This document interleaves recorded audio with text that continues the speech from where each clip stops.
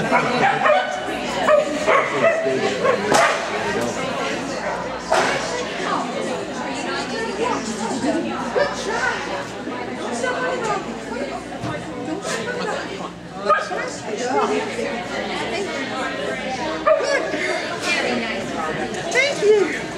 Good job.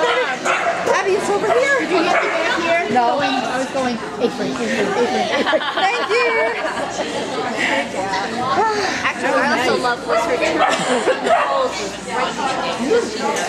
I wanted to be ahead of her more than I was, but she got it anyway. She's a very intuitive dog. she can figure it out. Good girl. Good girl. Good girl. Good girl.